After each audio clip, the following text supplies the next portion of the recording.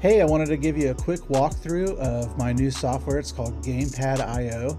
Uh, and what this does is it lets you use any game controller as a satellite surface with Companion. So for my demo here, I've got a wired Xbox 360 controller uh, and it's hooked up via USB to my Mac. Uh, but you can use any controller, you can use Bluetooth, uh, anything that your computer will detect as a game controller. So here's the software. I've connected my controller and it shows me all of the buttons of the controller. So if I, you know, if I press a button here, you can see this green A button shows up as button zero on the mapping. Uh, if I've got a trigger, I can slowly depress that trigger and you can see the percentage I've got it pressed down. Uh, it supports axis. You can see if an axis is going left or right or up or down. Um, and then all of the other buttons are registered. Um, and so what this does is it communicates with a companion module over socket IO, and then the companion module itself emulates a companion surface. So if we go look at the module, you can see here, uh, I've told it to connect to my Gamepad IO host. And since I'm running companion on the same computer that I've got Gamepad IO on, I'm using, of course, my local host IP for you, that might be different if your controller is connected to a different computer on your network. Um, and then I choose uh, my controller that it detected. Um, the button mapping here is just, it makes it easier if you've got uh, variables that you want to see, it will show them to you in the way that the controller is laid out. So instead of calling it button zero, it'll call it button A. Um, but you can use generic mapping or you can use any of the ones that I've pre-made here. And of course, if there's one that's not listed, you can always submit a pull request to the repository to get that added. If I happen to be running a companion, but I want it to be a satellite surface to another companion, it's a bit of an odd setup, but you can specify that here in the module. You would choose the, again, the host and the port for that. Uh, but because I'm running the module on the same uh, companion instance that I want the surface to be on, again, I'm going to leave that as localhost. Um, you can choose if you want to enable haptic feedback, which is what will make the controller vibrate when you press buttons. Um, you can set the button press threshold. So let's say uh, if I have a button and I want it to really uh, press the companion button at some percentage close to 100% pressed, um, I could set that to be like 90%. So maybe maybe I have a button on my controller that's broken that never reaches 100% for some reason. You can play with these settings here to kind of get a custom setup.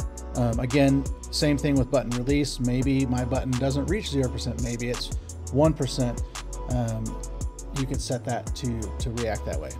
Uh, button debounce if you want to control uh, how quickly you can press a button and it'll register it again over and over and over uh, you can set that there, but 50 milliseconds is a pretty good value.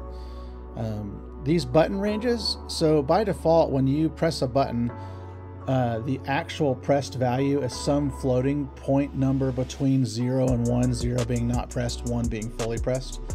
Uh, but if you want to change that to say, I want it to show negative 1200 when it's not pressed to 1200 when it is pressed, uh, you could set that here and it's just basically a custom display range. Um, similar settings for axis movement. So if you would like an axis movement to react like a button press, so let's say for example, when I go all the way to one side, I want that to be a button press. And then when I go all the way to this side, I want that to be a button press. Um, that would be a way to do that. You can set uh, axis movement as button press. Um, again, with axis movements, you can also set your uh, dead zones. So uh, some some controllers, whether they're broken or just the way they function, so you can so you can set your your dead zone values so that basically it will ignore um, that percentage of variance that should not be registered as uh, as axis movement. So if I go into variables for this module, you can see um, every basically every button and axis is represented here. So let me just filter it by buttons.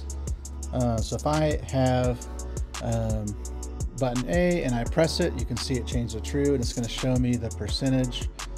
Uh, of course, some uh, buttons, depending on your controller or your axis, you know, it may be a negative value, so you can see the, the percentage and the absolute value if you need that. These are mostly just useful for um, triggers if you want to do something when when it reaches a certain value. And so uh, you can really see basically what every um, button or axis is doing. So I'm to filter it here to an axis and let's look at the left stick X. And again, it knows that left stick X, um, what it, what it, direction it is and what axis it is based on the mapping that I chose for my controller. Um, so it says right now that it's in the center. So if I start to move it left, you can see it knows it's going left. If I let go, it'll go back to the center. Um, I can move it to the right. And um, again, that's just a way to see everything that that, that axis is doing. Uh, you can see the raw value there. It's, if I have it all the way left, it's negative one. If I go just off of all the way left, you know, it starts getting into these, um, you know, floating point values. Again, that's between, for an axis, it's somewhere between negative one and one versus a button would be somewhere between zero and one because an axis can go all the way to its negative range. Um, so again, those are mostly for uh, if you want to do triggers based on some value. So you can see here, if I press these buttons, they show up as presses on the controller. So if I, uh, let's say I want to do a trigger, I can press my right trigger down and I've got it, you know, just barely pressed and it's showing that as about, you know, 19% pressed. Or I can go all the way down and it shows that it's fully pressed. Um, and that's just a, a, different way to register um, you know the, those values. Any button on the controller can be assigned to the surface. And the way that works is based on the mapping. So I'll show you here, if you open the help file, you can see like for the Xbox 360 controller, the trigger itself is, is, is gonna be button seven.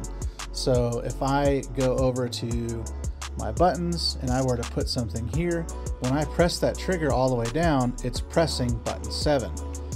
Um, and that's kind of based on your mapping. If you were had a super wide surface, you know, button 8 might be over here, but since I don't, button 8 is going to be over here. And so, um, let's see, button 8 is button 8 is the little uh, back button on the controller.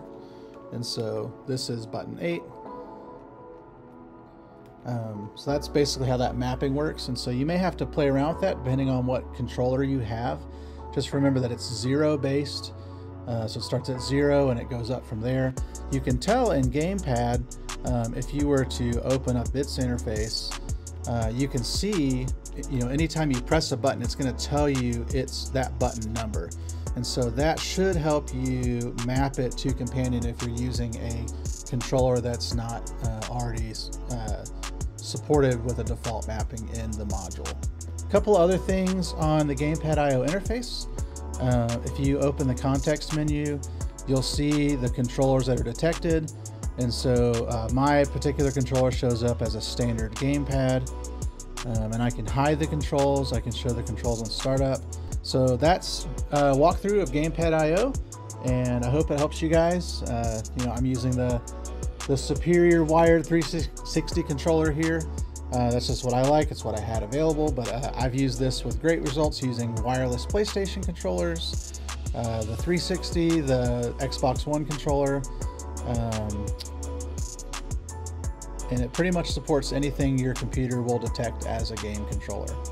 So check it out. You can get the software uh, from my GitHub repository. I'll include the link below.